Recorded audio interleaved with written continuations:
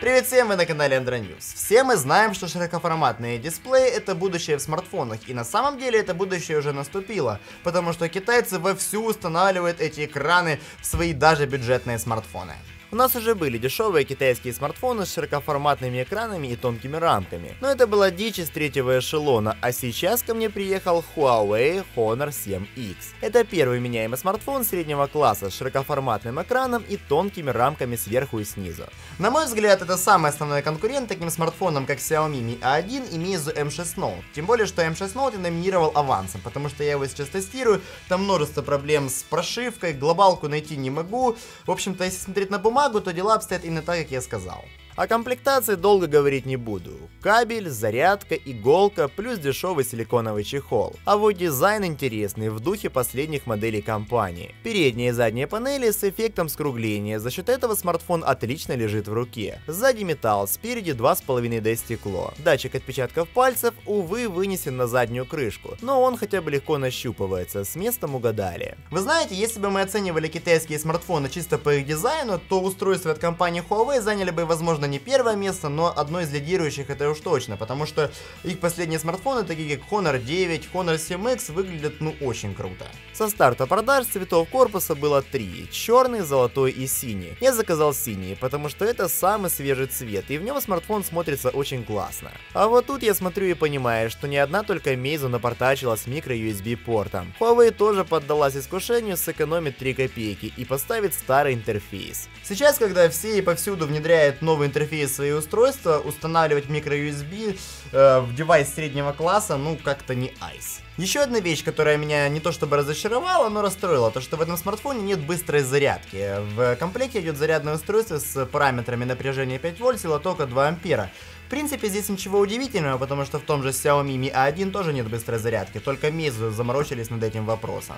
У меня девайс с китайской прошивкой, выпущенный соответственно для китайского рынка и соответствующим радиомодулем. Надеюсь, международная версия будет отличаться не только прошивкой, но и поддержкой большего числа 4G бендов. Конкретно этот Honor 7X поддерживает только 38 бенд из популярных, а 7 бенд и 20 не поддерживается, и значит в российских 4G сетях смартфон работать не будет.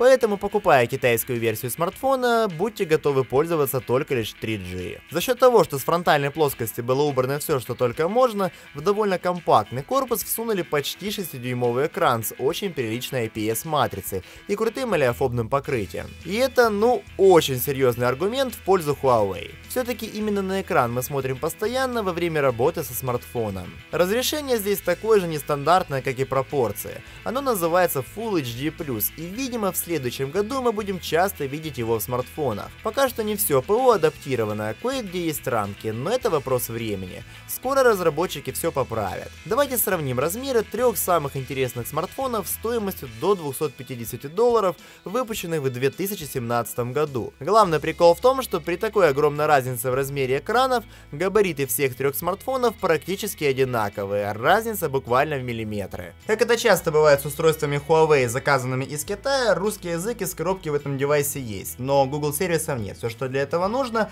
просто установите Google Installer и все заработает. Еще один момент, который меня не то чтобы расстроил, просто скажу как факт, мультимедийный динамик в Honor 7X звучит тише, нежели на Xiaomi Mi 5X, но э, звук на Honor 7X более чистый. Собственные процессоры Kirin всегда были узким местом всех продуктов Huawei, хотя в последние годы даже тут есть некоторый прогресс в стабильности работы и потреблении энергии. Тут установлен 8-ядерный Kirin 659, который по производительности примерно равен 625 снэпу и Helio P25. В целом, система и приложения работают на нем хорошо, а расход батареи на первый взгляд умеренный. Но это решение не для игр, так как видеоускоритель Maliti 830 потянет серьезные игры только на средне-минимальных настройках. Камеры Honor 7X однозначно нужно еще тестировать, но первое фото я уже успел сравнить с Xiaomi Mi A1. В обычных фото качество примерно одинаковое, иногда лучше отрабатывает Xiaomi, иногда Honor.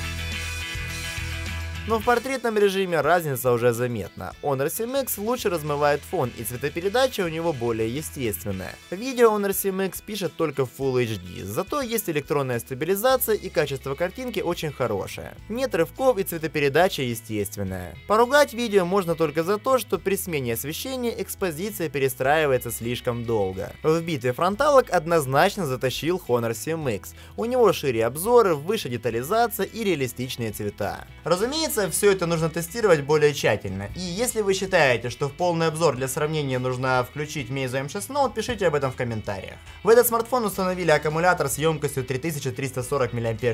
И уже в полном обзоре я вам расскажу подробнее, что у него с временем автономная работа. На вскидку могу сказать, что это скорее всего будет один световой день. На AliExpress Honor 7X продается от 226 долларов за версию в золотом цвете. Давайте зайдем на сайт сервиса и каталог и посмотрим на альтернативные смартфоны, которые предлагают другие производители. Вообще я редко на своем канале вам рассказываю об устройствах от компании Huawei, ну потому что они как правило очень дорогие, но с этим продуктом компания Huawei реально заморочилась, она смогла предоставить пользователям и нормальную цену, и технические характеристики, и хотя я понимаю, что у него куча изъянов, таких как допустим процессор Kirin 659, отсутствие быстрой зарядки, ну и множество всего такого, я все равно понимаю, что у нас перед глазами потенциальный конкурент Mi A1 и Meizu M6 Note, возможно этот девайс окажется лидером среди них. Ну а пока что я вам напоминаю, что на нашем канале проходит грандиозный конкурс, в котором я разыгрываю 4 смартфона Xiaomi и OnePlus 5. Стоимость этих призов составляет полторы тысячи долларов. Если вы о нем ничего не слышали, пожалуйста, регистрируйтесь по ссылке в описании. Вся информация будет опять-таки в комментариях и в описании. Ставьте пальцы вверх под этим роликом для того, чтобы поддержать наш проект. Подписывайтесь на канал. И да пребудет с вами Android. Пока-пока.